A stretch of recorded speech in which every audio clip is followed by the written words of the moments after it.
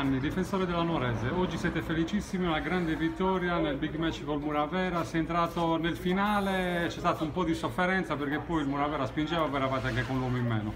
Sì, siamo stati bravi a soffrire, però questo, questo gruppo ha una forza incredibile anche, anche, in questo, non a caso siamo lì davanti siamo stati bravi a fare il secondo gol, non abbiamo mai mollato su ogni pallone, non ci siamo mai tirati indietro e quindi è tutto meritato.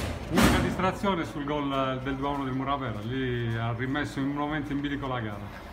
Sì, cose che possono succedere, naturalmente lavoriamo ogni giorno perché questo non accada, però ripeto, bravi noi a fare due gol e quindi va bene così.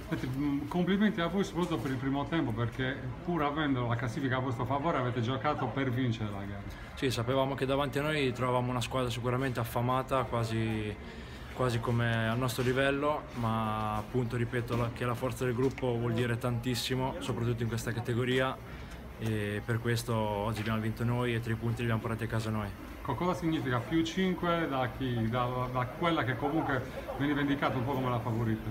Beh, naturalmente questo non significa che abbiamo vinto niente, perché il campionato è iniziato da poco, siamo a un quarto del campionato, mancano ancora tantissime partite e quindi dobbiamo essere bravi comunque a continuare su questa strada senza mollare un centimetro perché questa è la strada giusta. Tra l'altro oggi ha vinto anche il Sorso, il Sorso ha battuto sia voi che, che il Muravera, comunque non bisogna neanche escludere altre squadre. No, infatti questa è la prova appunto del, del valore e il livello di questo campionato e proprio per questo non dobbiamo montarci la testa, dobbiamo stare coi piedi per terra e continuare a lavorare a testa bassa. Senti, personalmente che è successo, visto che stai entrando dalla panchina, ti abbiamo visto titolare nelle altre gare? Eh, sono scelte che fa il mister, non, eh, noi siamo qui per lavorare, per fare bene e ascoltare quello che dice di fare il mister, ma siamo dei ragazzi che andiamo tutti d'accordo, siamo tutti felici, tutti qui per un unico obiettivo, quindi non importa quale decisione prenda il mister. Certo dispiace, però l'importanza è, è la squadra.